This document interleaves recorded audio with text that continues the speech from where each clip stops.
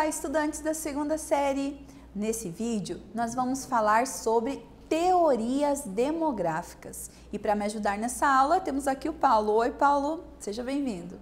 Vamos lá, então? Objetivo: entender a teoria ecomalthusiana. Nós já vimos a teoria malthusiana, a teoria neomalthusiana e agora a gente vai ver a teoria ecomalthusiana. Entender a teoria reformista, que também é chamada de marxista, tá bom? Vamos lá? E aí, o que é teoria demográfica? Quando a gente fala de teoria demográfica, a gente tem que lembrar de população. Demografia tem a ver com quantidade de pessoas nesse imenso planeta que a gente vive, que é o planeta Terra.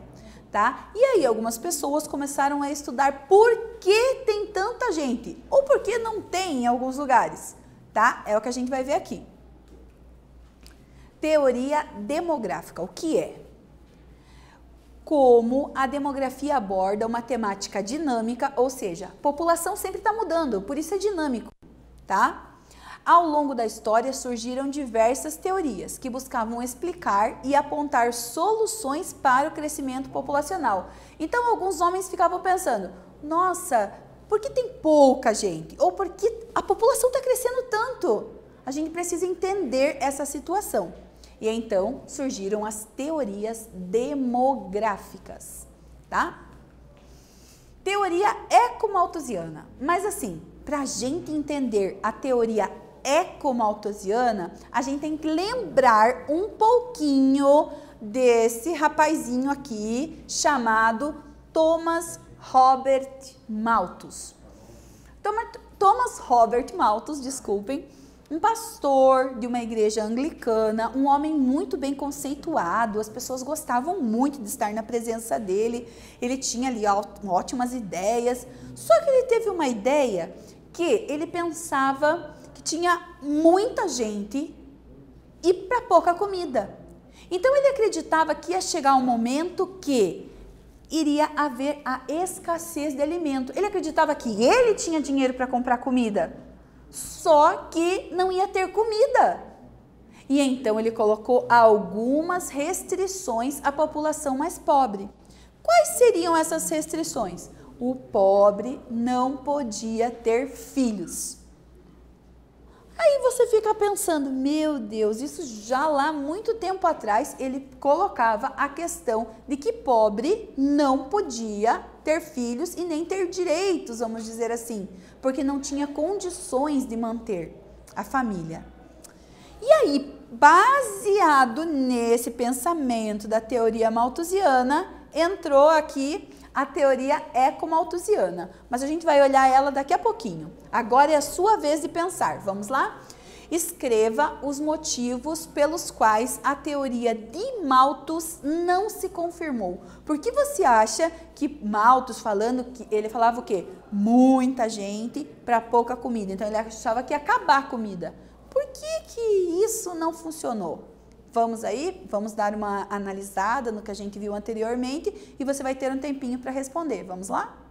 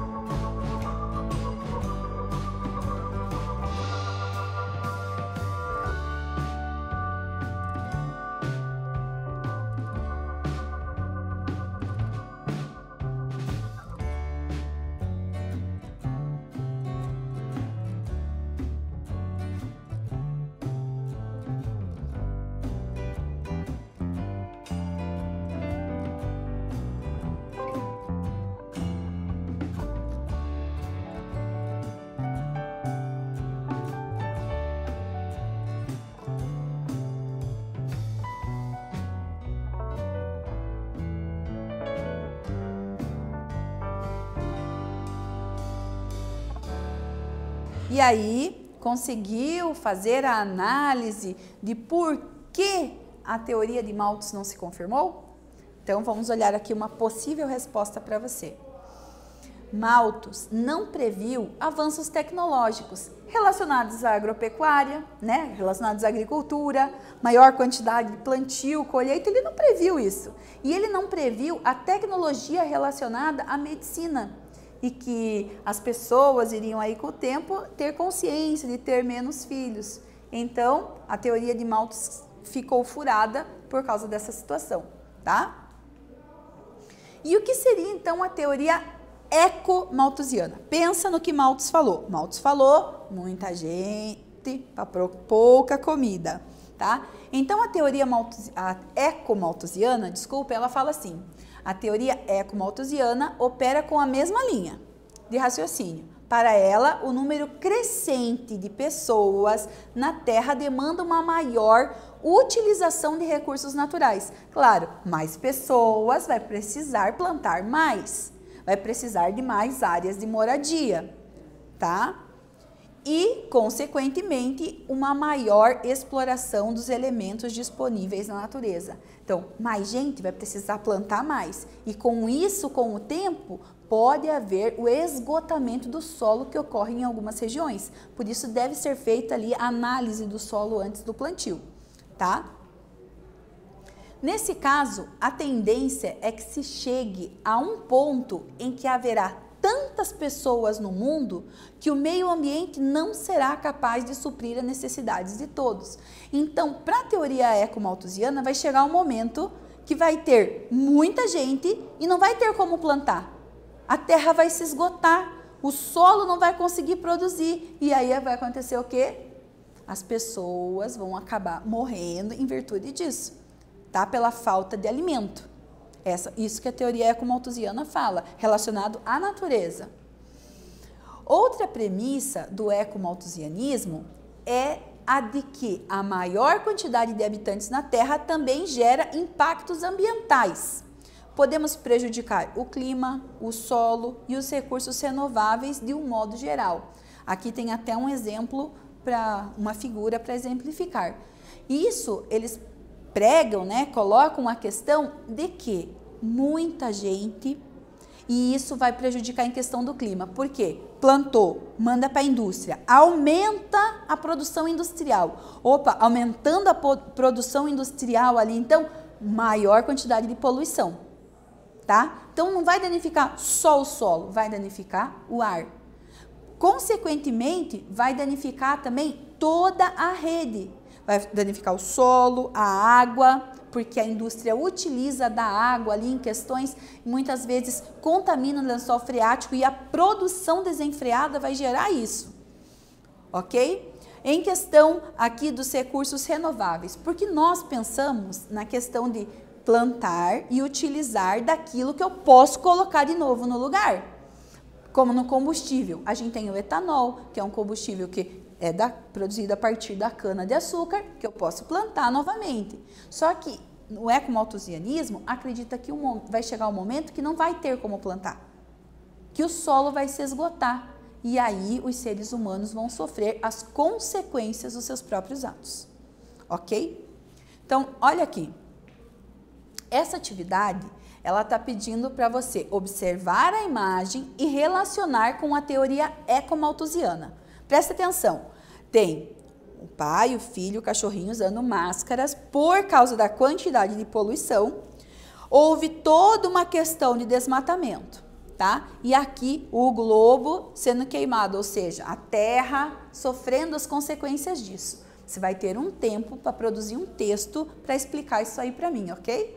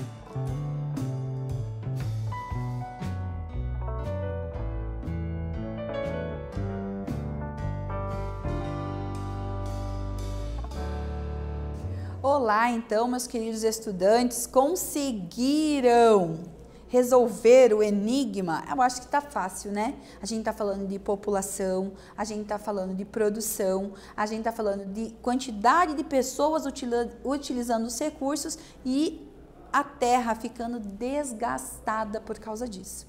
Então, vamos olhar aqui. Para a teoria ecomalthusiana, o número crescente de pessoas na Terra demanda uma maior utilização dos recursos naturais, como a gente viu ali na imagem, tá? Mais pessoas utilizaram mais ali os recursos naturais, muitas fábricas, a poluição aumentou e tendo a consequência a população usando máscaras ali por causa da poluição, tá? Consequentemente, uma maior exploração dos elementos disponíveis na natureza. Então é isso que a teoria ecomalthusiana nos diz mais pessoas, utilizando mais recursos e a terra possivelmente vai entrar em esgotamento, tá? Teoria reformista ou marxista. Então, para combater a teoria de Malthus, a teoria neomalthusiana, que era o controle da natalidade, falava que a pobreza era culpada de tudo, né? Em relação, aliás, a população era culpada de toda a pobreza a teoria reformista, ela, ela nos diz que a pobreza é que é culpada pelo aumento populacional. Tá? Gente, lembrando, não, sou, não é minha opinião aqui, é a opinião da teoria reformista, marxista e todas as outras, tá? Segundo a teoria reformista, uma população jovem e numerosa, em virtude das elevadas taxas de natalidade, não é causa, mas consequência do subdesenvolvimento tá? Então, assim, eles falam que quanto mais pobre for a população, mais numerosa ela será. Por quê? Vamos entender ali um pouco da parte eh, dos ricos, vamos dizer assim, dos desenvolvidos.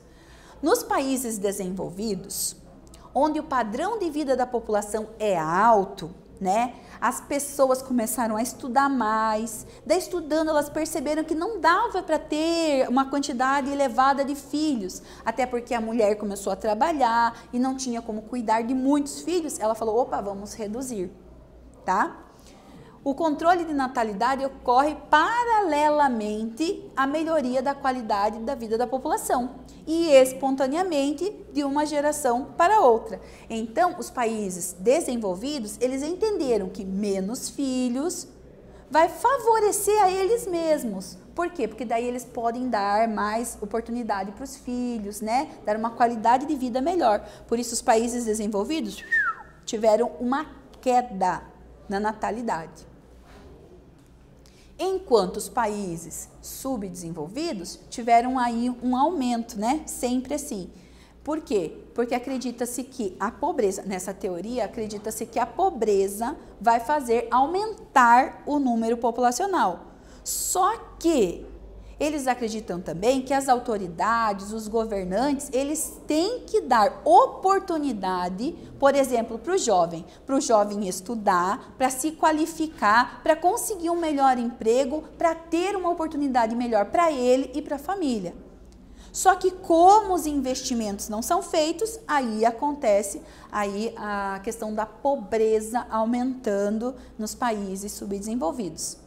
Tá? Então, na teoria reformista, ela joga a culpa para os governantes. Ou seja, os governantes têm que criar uma situação para melhoria da qualidade de vida da população para que haja então aí um desenvolvimento. Agora é sua vez para pensar aqui na teoria reformista. Observe a imagem. Temos vagas sem qualificação, ou seja, pessoas procurando emprego sem qualificação profissional pessoas procurando emprego com qualificação profissional. Onde existe a maior procura? Tá? Então, pensa aí. Observe a imagem que retrata sobre o mercado de trabalho. Elabore um pequeno texto comparando a figura com a teoria reformista marxista. Então, pensando na questão da qualificação, pensando na questão da população mais pobre, não ter acesso, você vai responder aí essa questão. Você vai ter uns minutinhos para isso. Vamos lá? E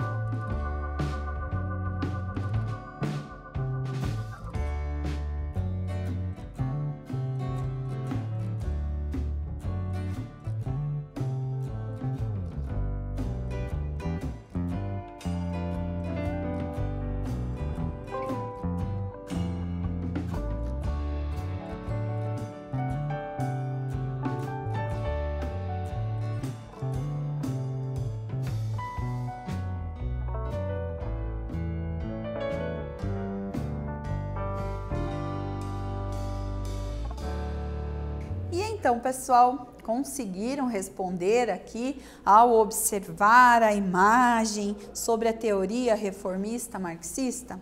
Lembrando que que é teoria reformista marxista, né, ou marxista. Eles falam da questão de que a pobreza é consequência do subdesenvolvimento tá? E que a, os governantes deveriam achar meios para auxiliar as pessoas, qualificar, ou seja, colocar mais escolas, mais área para mais cursos para que todo mundo tenha aí uma qualificação melhor para conseguir um emprego melhor, tá? Baseado nisso, observa a imagem e o que você escreveu. O que eu coloquei é uma base para sua resposta, tá? Os países subdesenvolvidos, uma população jovem, numerosa, se torna não só se torna empecilho ao desenvolvimento de suas atividades econômicas quando não são realizados investimentos sociais.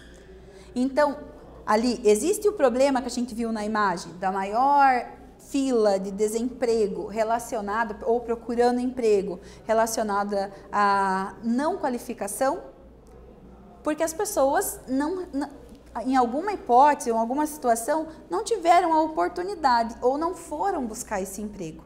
Então, eles colocam que esse empecilho deveria ser solucionado colocando as pessoas para estudar, tá? Em especial na educação e na saúde.